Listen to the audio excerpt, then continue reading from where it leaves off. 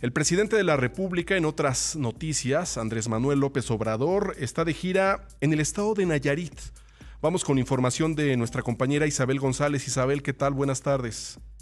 El presidente de México anunció que incorporará a su equipo de trabajo al aún gobernador de Nayarit, Antonio Echavarría García, una vez que concluya su responsabilidad en menos de dos semanas. Ha sido tan bueno el trabajo de Toño que estoy pensando nada más quiero que me den tiempo porque luego me empiezan a presionar con razón, porque ese es el trabajo de un buen periodista.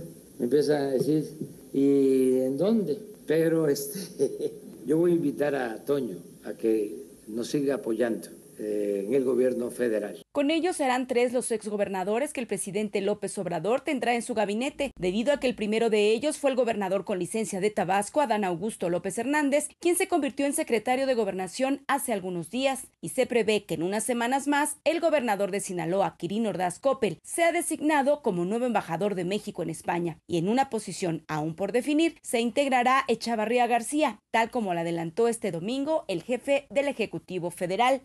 Antes, el mandatario mexicano elogió la labor de quien fue postulado por el PAN y el PRD en el 2017 a la gubernatura de Nayarit. Destacó que el Estado tuvo suerte de tener un buen gobierno durante los cuatro años en que estuvo al frente Antonio Echavarría. Si yo fuese Nayarita y me preguntaran qué fue lo mejor que hizo el gobierno actual, el gobierno de Antonio Echavarría, yo diría nos dio seguridad nos devolvió la tranquilidad a Nayarit. El presidente pronosticó que en la futura administración de Miguel Ángel Navarro Quintero como gobernador de Nayarit, el Estado tendrá todos los recursos que requiera para seguir en la senda del progreso y el bienestar.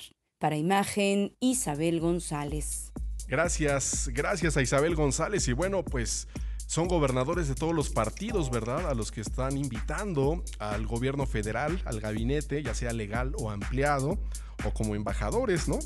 Eh, Quirino Ordaz, gobernador priista de Sinaloa, Antonio Echevarría, gobernador panista de Nayarit, y por supuesto Adán Augusto López, que ya se incorporó eh, de Morena, dejando la gubernatura de Tabasco a la Secretaría de Gobernación.